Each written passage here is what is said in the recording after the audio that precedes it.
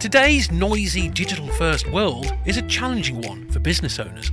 How do you get more people to know you, trust you, and to respect your brand? How do you stay front of mind with your target audience as well as talked about in a positive way in the marketplace? The answer is public relations, but not as you know it. Get ready to unlock the potential of your business through the power of PR, content, and digital communications. Get ready to become your own PR machine. G'day, my name is Trevor Young, and in this episode, we're going to look at how a journalist can help you knock your content out of the park. Now, number, before we get into it, why do you want to keep, why would you want to improve your content? Well, I think that we're all upping the stakes in the quality of the content that we produce. And you know, we need all the help we can get. And so if we can be smarter about producing content that's going to be then bet, better than your competitors, then you're going to be having an advantage, uh, hopefully, in the online world and in the marketplace generally. And that will have a flow-on effect for your commercial, um, your commercial uh, outputs and what you're trying to achieve as a business. Whether you run the, a business, you are the business, so it's a personal branding, thought leadership, positioning, or you run a business and you employ stacks of staff, in which case, good on you. Okay, the first way in which a journalist can help you create content and get the most out of your content Number one is that they can create, and they're very adept at creating multimedia content. Now, today, it's great to be able to write great articles and publish them and get them out there. It's equally as good to be able to do it with video and audio. But if you can do all three, that's the triple threat. And a lot of journalists are very adept at multiple, uh, going across and, and creating content for multiple mediums. Um, they've had to adapt to the new media landscape, just like all of us. And they've had to go and learn these new skills. So if you're going to put on a freelance journalist to help you with your content, and you're very keen to not just have written articles, as good as they are, but you might also want to uh, expand uh, your thoughts and ideas and and and and the insights that you're putting out there in the marketplace you might want to expand that into video and or audio then look for a journalist who has got a background, uh, who has the triple threat. Um, they've got a background and they can produce uh, text, the written word, video, and audio. Number two, the second reason why to use a journalist as part of your content team. Uh, the second one is they're very, very good. Journalists are very, very good at extracting the stories, and that's the important thing. You know, we're not trained journalists, most of us.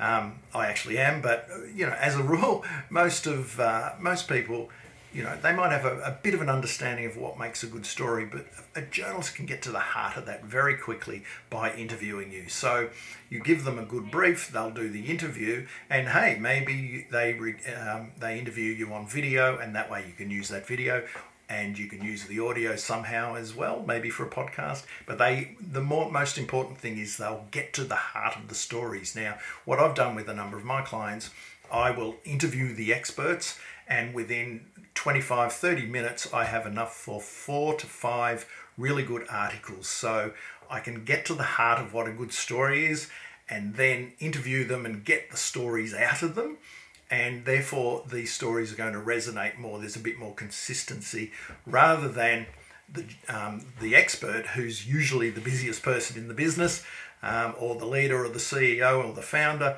They have to make the time to sit down and write that. So it, it actually A is a time saver, a massive time saver, but B, but B, they will get the good stories and because they understand what readers or viewers or listeners want from content and want in a story or an angle or a hook or an idea.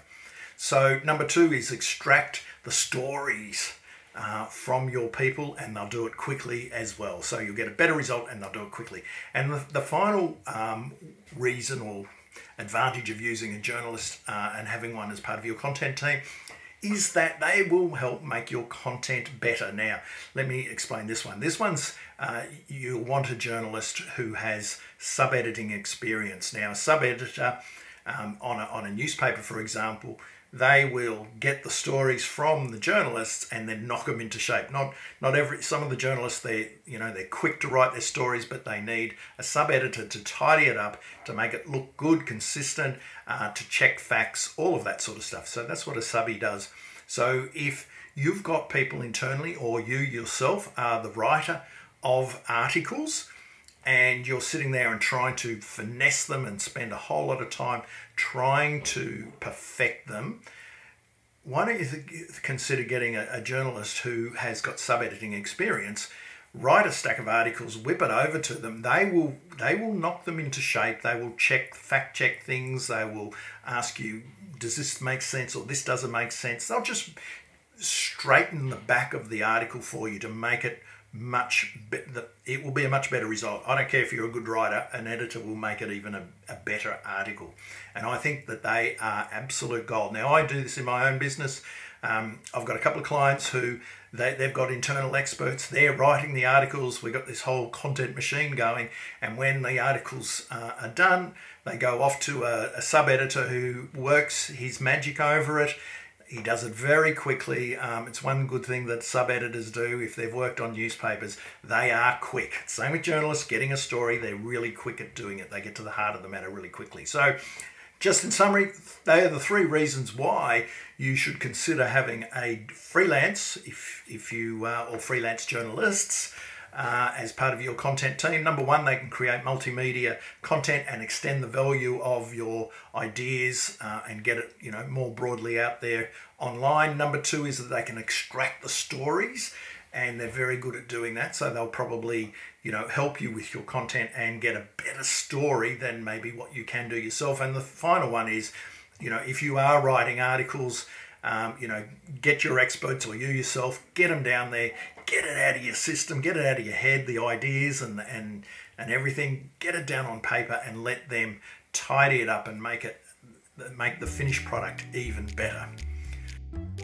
Learn how to become your own PR machine. We now have a newsletter to accompany this podcast. So, subscribe today and receive top tips, ideas, insights, and trends to help you unlock the potential of your business through the power of PR, content, and digital communications. Go to becomeyourownprmachine.com.